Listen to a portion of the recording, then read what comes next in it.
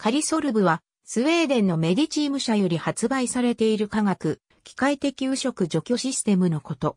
薬剤により汚職を科学的に溶解し、手用器具にて除去を行う。日本では1999年薬事申請、2007年1月に承認され、2007年11月12日、デニックスインターナショナルより発売が開始された。日本では保険適用外の治療。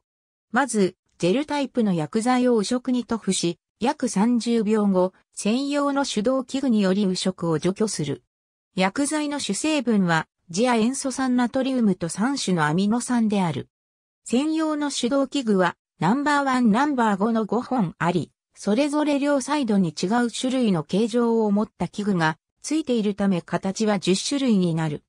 1987年にスウェーデンのルンド大学で開発され、1998年より臨床応用された。